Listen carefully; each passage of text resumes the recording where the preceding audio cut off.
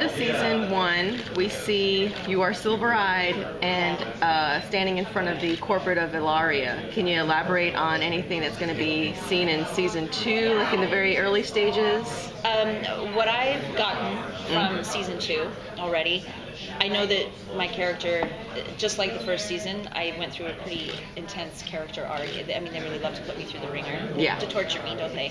You know, the box, the muscle, Yeah. the hole. Getting It's like, infected. okay. Um, the shower attack. Um, but uh, what I've gotten from the first episode that I've seen, it's it's really going to attach the psychological thriller aspect of the show, which was kind of my favorite part, to be honest. It's what makes it unique and mysterious and spooky, and it's going to go far into that. Um, and I'm still trying to find out what's happening with me. I mean, I think she might start playing a number of angles. And uh, I know that our writers like to spring things on us last minute, but I, I think that I'm going to be all over the map. as I'm realizing. Yeah. Uh, Even for me to figure out, every time I get a new episode, just like last season, it was, that's happening to me now? Oh, okay. Yeah. You know, it's, um, and because it's sci fi and because the way we shot this show, they just gave a lot of creative freedom, and so we can kind of go anywhere, and um, that's the exciting part. So I think Jules is definitely. I mean, let's face it, she had a lot taken from her, and um, and a lot happened to her. So there's the core of who she was, but some of those things will change. But then she's going to hold on to some of that. So I guess people do whatever they have to do to survive. Did you know prior to that shower scene what was going to be happening? Because that was one of the. I was like through my fingers. I know. Because it was like they set it up, you're in the shower, and then all of a sudden you're like, you know, looking around, and it just was so intense, and then Peter just comes in, and that black, oh, it was well, scary. What's funny is that when we started shooting, I'd only read the pilot episode, and then we're in the middle of shooting. I get episode two and said, "Oh, so there's a shower scene. That's interesting." Um, thanks, guys. Yeah. Uh, but um, yeah, that was that was a surprise too. But I thought it was amazing. Yeah. And it was a lot of fun to shoot, honestly, just because uh, Brad Turner, our director on that one, he's a really classy guy. And I, I'll admit, I was a little nervous because I, I didn't know how they were going to shoot it. And I'm a mom. I've had two kids. Nobody needs to see that. Like, how, how are we shooting this, buddy? Um, but he's he's a classy guy, and he said, look, it's just going to be frosted glass, and it's going to be just really about the relationship and the whole. I felt so completely comfortable. Neil is awesome. He's a great person to work with. He's totally professional, and I knew him from before too, and so. I just felt I was completely comfortable with the crew, with everyone, and we were just able to go for it. It was ended up being a lot of fun to shoot that scene. Well, it turned out terrifying. It was terrifying. I mean, you, even when I watched it, I still felt this thing in my stomach. Of, and to be honest, they pulled back on what they showed because what they shot, I think the first cut was, it was really long, and the screaming that was happening. I wasn't, I didn't know how I was. We didn't have anything planned, but the way that I was screaming, is just, it just gets you in the stomach. It's just not good. But Are they going to be revisiting the love triangle a little bit for the second season? Um, I'm sure that they will. I think there's going to be, there might be a couple of triangles going on. Um, and something that I love about the way they did this show is with the, the women characters, at least, and especially with Julia, she's not there because of her ex-husband. She doesn't exist because of her relationships, and I think that's important with women in TV and film. That's why TV's gotten so good. The female characters are amazing these days. Um, so I love that they would set something up and you want something to happen, but they never either have time to address it or there's always something better to do. And I thought that was really interesting about last season. That you don't, that her and um, Billy Campbell with Alan, like we, we didn't have a conversation about us until episode 10. And so I thought that was that was really interesting. So those things are going to, even in the first episode of season two, there's some interesting things that happen, but it comes out in a way that you don't expect. Of course, because it's Helix it's sci-fi. So. So there's a new location. We, we can't talk about specifics, but but how is it like kind of working in this new environment? Um, well, I haven't been there yet. I haven't seen it yet. We start shooting in two weeks. So um, I'm actually heading to Montreal straight after this so I can get settled and, and um, start training and stuff like that. But uh, yeah, all I know is Jules is going to have some pretty exciting stuff coming up, so I'm excited. Yeah, there's a lot of physicality in the show too, so you do have to train. Yeah, yeah. So there will be no, since it's not going to be in the Arctic, you don't have to put on the. I hope I don't have to wear that coat. and I'll tell you, Billy is going to be really excited that he doesn't have to wear that coat. Because the truth is, we got there in July when we started shooting to put on those big crazy coats. That was that was tough on a kid, you know.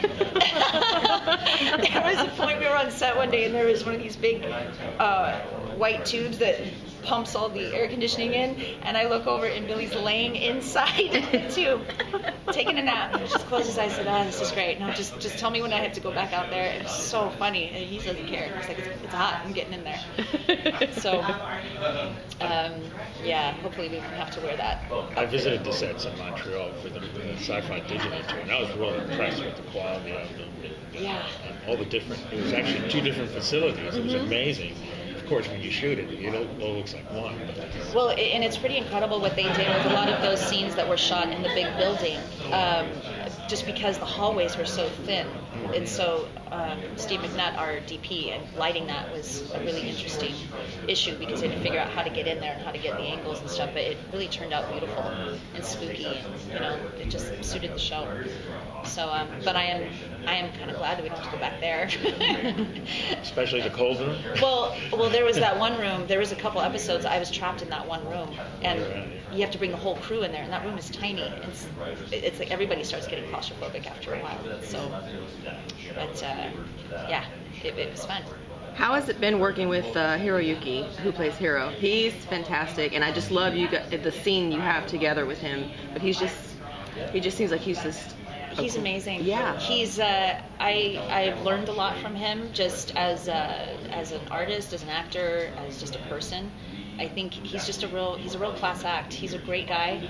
Um, he's always completely connected and there for you. He probably I think he's one of the hardest actors I've the hardest working actors I've ever seen. He's so disciplined and um, and kind. I mean, he's just he's he's how everyone should be when you go into work. So what was great about I feel fortunate that I had such a close relationship with him on the show because, like I said, I just got to soak up knowledge and experience by just being in scenes with him, and he's completely right there for you. You feel like you can kind of do anything. So I, you know, you're only as good as your scene partner.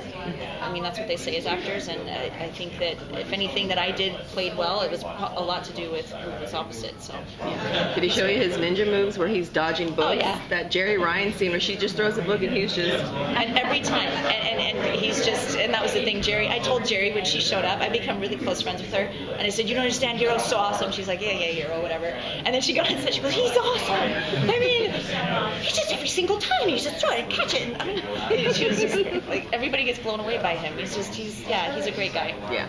It seems like a really fun cast. You guys all seem like you have really good chemistry and camaraderie. Yeah. And, and what was great, you know, a lot of times when you're working on stuff, people are hiding out in their trailers, and we, we didn't. We, we had a little table, we just hang out together, and um, was, everybody was ready to work and willing to go. So it was a good dynamic. It's the way Great. it should be.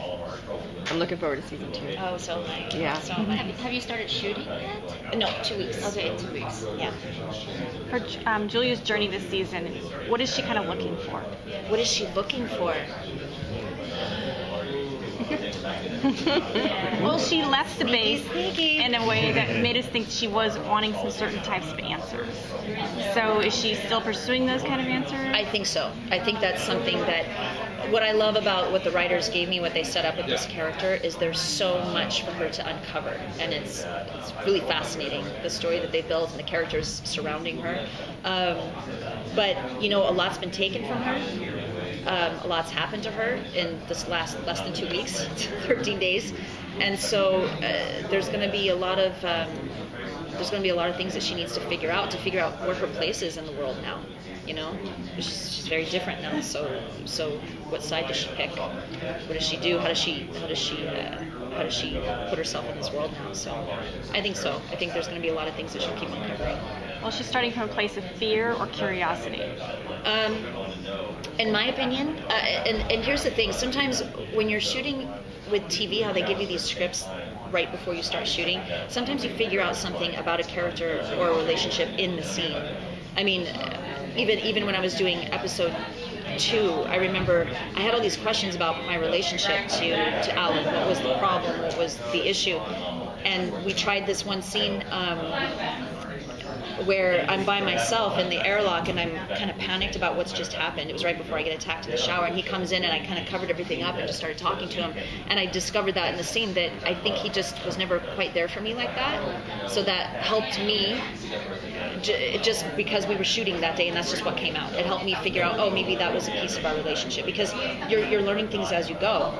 So um, I think that in the moment, you just start to, to figure something out and you hope it plays.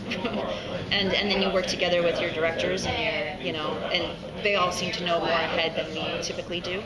Um, so we'll see. I'll see. We'll see if the writers keep it close to the cuff like they did last season. Because sometimes it's like, please, we're shooting tomorrow. Can I, can I have some pages? Or what do you think? What's gonna happen here?